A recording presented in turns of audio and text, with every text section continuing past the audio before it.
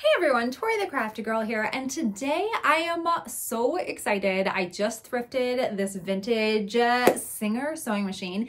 It's actually a child's sewing machine, but it I did a little bit of research and it says that it's actually supposed to be just like a grown-up version, but just shrunk down really small. Um, so I haven't actually looked at it. I haven't unboxed it. I did pay quite a bit for it.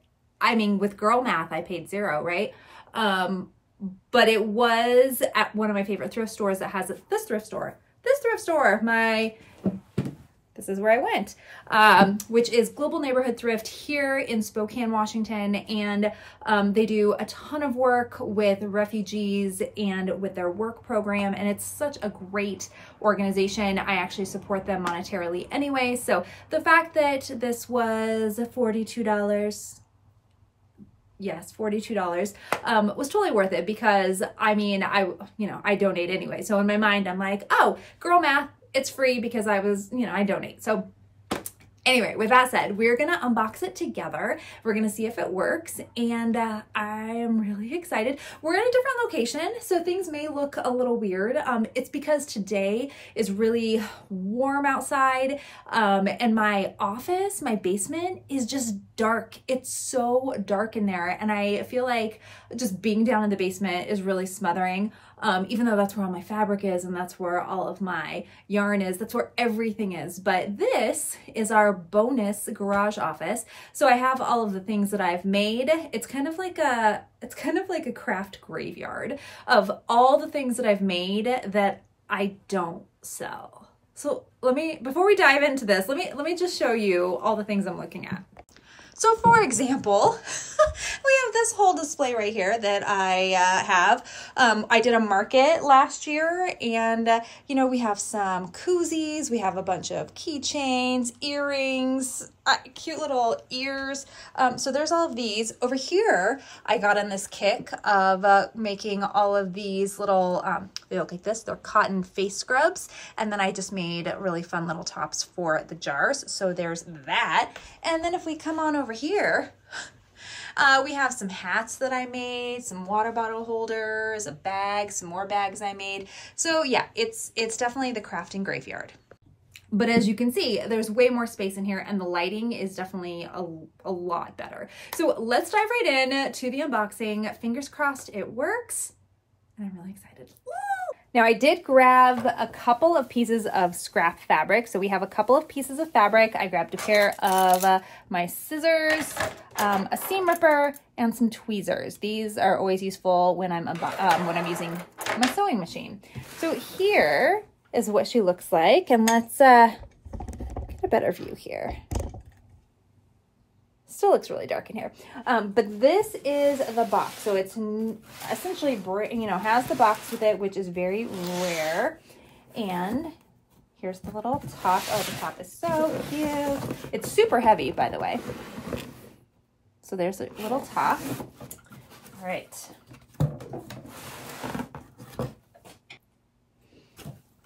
Unbox. All right, well, first of all, we have a cover. The cover is in great condition. It's in this like 70s orange, which is awesome. Oh my gosh, how cute is this? How cute is this? Um, uh, perfect condition. Perfect condition, okay.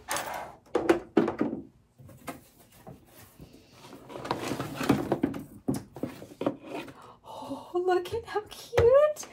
Okay, and then this she's she's hardcore. Like this is this is plastic, but it definitely feels heavier. Um, okay, so we have our cord here. Have to reach that over there. There is our cover. What else is in here? Anything else? Oh.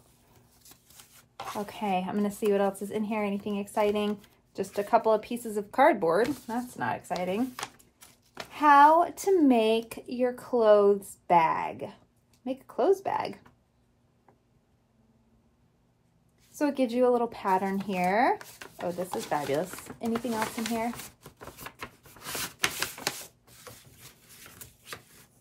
All right, and then we have uh, the Model 50. Oh my gosh. Sorry, my dog just walked in here because I left the door open and she just scared me. Um, Oh my gosh, it's so cute. Model 50D. I'm looking to see if there's a date on here. It definitely looks, yep, 1961. So this machine is from 1961. Um, so what I will say about this is you know, today's technology really is based on this throwaway technology, which is really crappy because we have so many things that end up in the landfills and we're in this buy new culture. Um, you know, something breaks or it doesn't work the way you want it to, so we just we throw it away. Um, so something like this, this quality of craftsmanship is uh, stands the test of time. Oh, well, fingers crossed again. Let's let's hope it stands the test of time. Um, so 1961 is you know how long we've had this. Now, one thing I am realizing it does not have the spool pin, which that is is necessary to put your yarn on. Um, but I can make that work. What else? Getting to know our machine. Okay, so let's see. We have get this over here so you can read it with me. So this is our tension bar. This one doesn't look quite the same. Oh, there's a hand wheel. Okay. Oh, there it is. So there's our, okay. So there's our hand wheel, our needle. There's already a needle in there. That's actually surprising.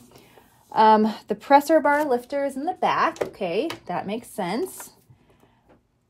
Needle is in there, presser foot. Yep, so we have all that feed dogs. We have our seam guide. What is a seam guide?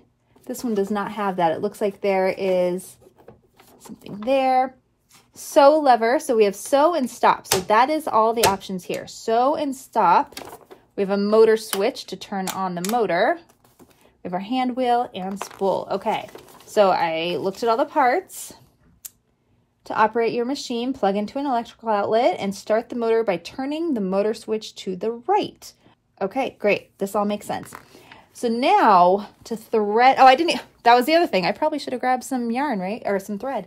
Um, so looking at this, I'm gonna need to figure out, I could probably use, I guarantee I have something in my craft room that I can use to replace this little, um, little spool pin there. In fact, I probably have an extra one from one of my machines.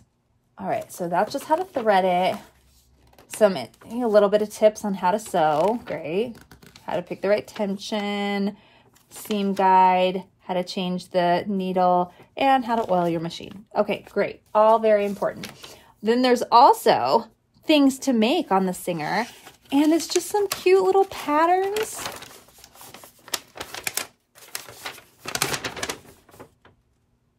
Oh, cute. So it tells you a couple of tips, things to do to help, which is great.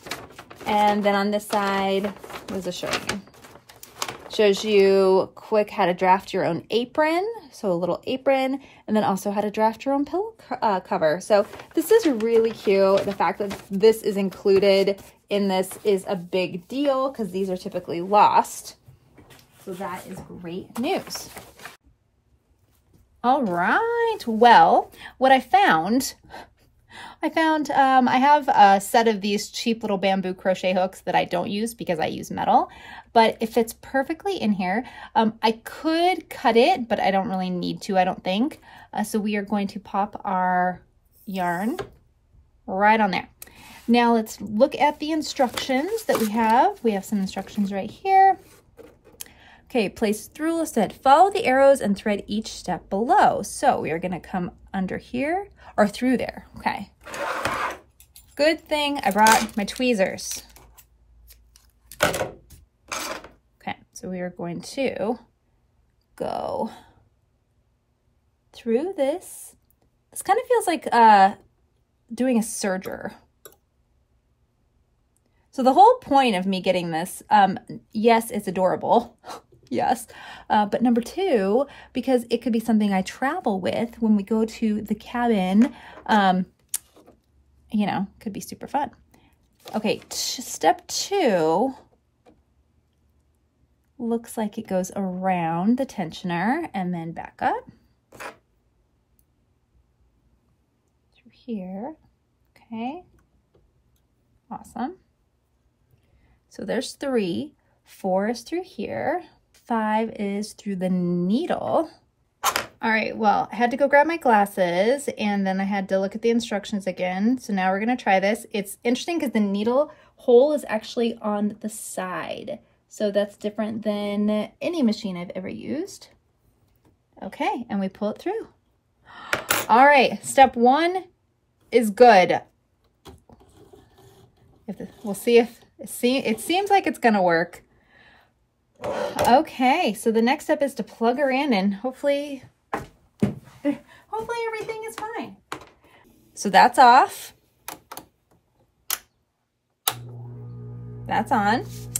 And then I think we just, it's, it seems so odd because it's so simple.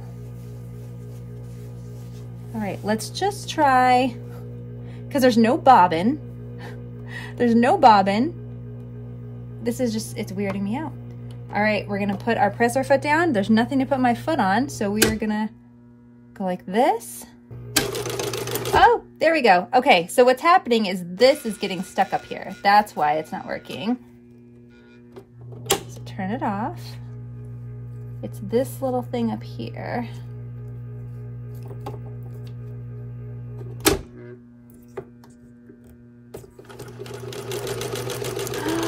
it's working!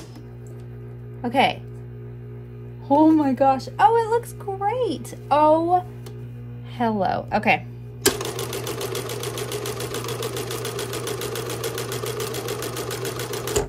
So you can't control much. You can stitch.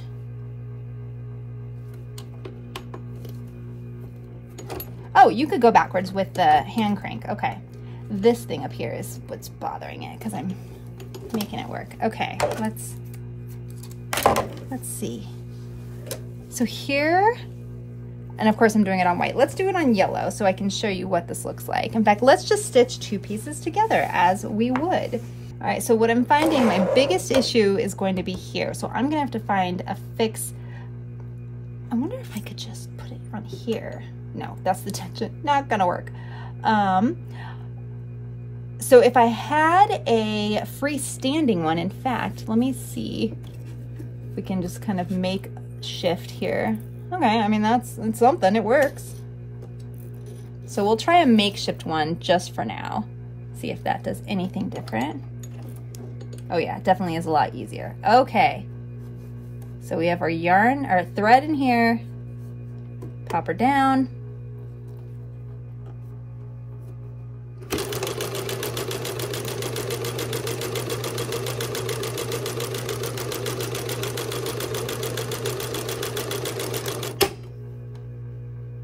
Yeah, it's it's definitely you can't go backwards but you can turn it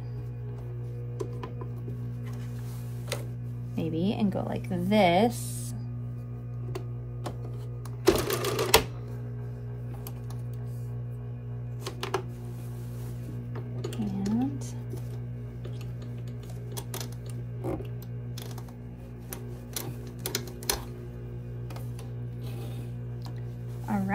So now let's take a look.